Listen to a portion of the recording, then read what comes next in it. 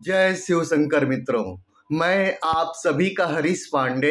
आज आप मकर राशि वालों के लिए बहुत ही आवश्यक विषय लेकर के आ रहा हूँ, आया हुआ हूँ, और ये आवश्यक विषय आपको एक दिन पहले मैं आपको प्रदान कर रहा हूँ, जिसका आप पूरा पूरा फ़ायदा उठा सके।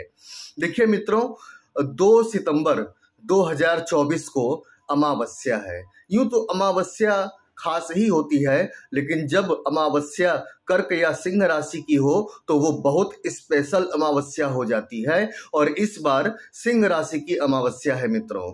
तो ये जो अमावस्या है ना, ये बहुत ही स्पेशल अमावस्या है और आपके कई प्रकार के कष्ट दूर करने वाली अमावस्या है। और सबसे बड़ी बात कि अमावस्या शनि अमावस्या को शनि और राहु का प्रभाव चरम पर होता है। तो शनि और राहु के प्रभाव को भी, उनके कष्टों से भी मुक्ति पाने का, राहत पाने का ये आपके लिए एक अद्भुत अवसर है। इस अवसर को अपने हाथ से मत जाने दीजिए। मैं आपको इसका एक सटीक उपाय बताने जा रहा हूँ मित्रों।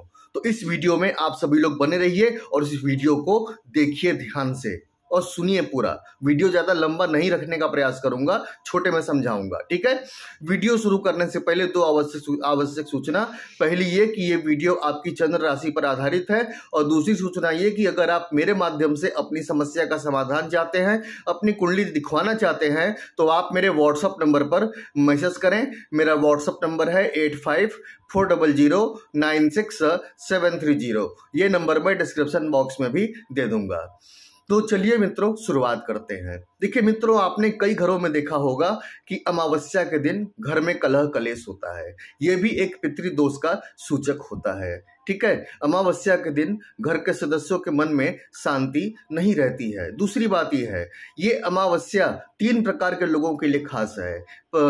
सबसे पहली बात सब, सबसे पहली बात तो ये कि जो लोग आर्थिक रूप से परेशान हैं, जिनकी इनकम नहीं हो रही है और जिनके ऊपर कर्ज का बोझ बढ़ गया है। और दूसरे, वो जिनको संतान नहीं हो रही है, ठीक है? जिनकी संतान नहीं हो पा रही है और तीसरे, वो जिनका अपना मकान नहीं बन पा रहा है, ये तीन प्रकार के लोगों के लिए ये अमावस्या बहुत ही खास है। साथ ही साथ ही अमावस्या के दिन, जैसा कि मैंने बताया, शनि राहु का का प्रभाव चरम पर रहता है तो यहाँ पर अमावस्या के दिन ज़्यादातर लोगों के मन में अशांति, चिड़चिड़ापन की भावना रहती है। तो इस अवसर पर आप ये उपाय करके अपनी समस्या से मुक्ति पा सकते हैं और ये जो तीनों का तीनों जो जो मैंने फ़ायदा बताया ना, इन फायदों के रास्ते आपके खुल सकते हैं। इनकम के रास्ते खुल सकते हैं, संतान प्राप्ति के रास्ते खुल सकते हैं और अपना घर बनाने का सपना भी पूरा होने का रास्ता खुल सकता है और कर्ज उतारने का भी रास्ता खुल सकता है। तो आता हूँ मैं अब टॉपिक पर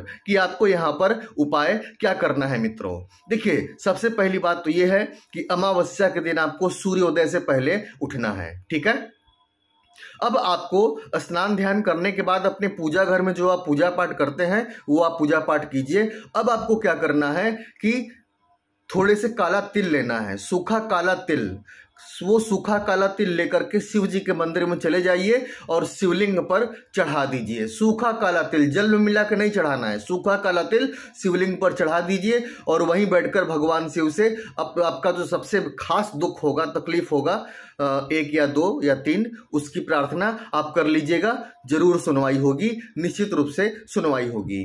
और उस दिन अमावस्या के दिन सुबह में सुबह में सूर्य भगवान को आपको जल देना है। कैसे? एक लोटे में जल लेकर के उसमें थोड़ा सा चीनी डाल लेना है और उस जल से आपको भगवान सूर्य को अर्घ देना है। ठीक है? ये दो महत्वपूर्ण काम आपको करने हैं मित्रों और उसके पश्चात उसके पश्चात शाम को अपने पूजा घर में पूजा घर में, पूजा स्थल पर शुद्ध घी का दीपक आपको जलाना है और सभी देवी देवताओं को दिखाना है और सभी का आशीर्वाद लेना है। तो ये अमावस्या आपके लिए बहुत खास बन जाएगी और आपके मनोकामनाओं को पूरा करने वाली बन जाएगी और आप जो है कि आपके तरक्की के रास्ते खुल जाएँगे। ठीक है मित्रों? तो उम्मीद करता हूँ आप सभी लोग समझ गए होंगे। मैं चलता हूँ, लेकिन जाते जाते एक बार फिर से कह दूँ कि यदि आप परेशान हैं, तकलीफ़ में हैं, अपनी समस्या का समाधान चाहते हैं, अपनी कुंडली दिखवाना चाहते हैं तो आप मेरे व्हाट्सअप नंबर पर मैसेज करें। मेरा व्हाट्सअप नंबर है eight five four double zero nine six seven three zero. ये नंबर मैं डिस्क्रिप्शन बॉक्स में भी दे दूँगा। तो मित्रों, मैं चलता हूँ। मुझे आज्ञा दीजिए। जय शिव शंकर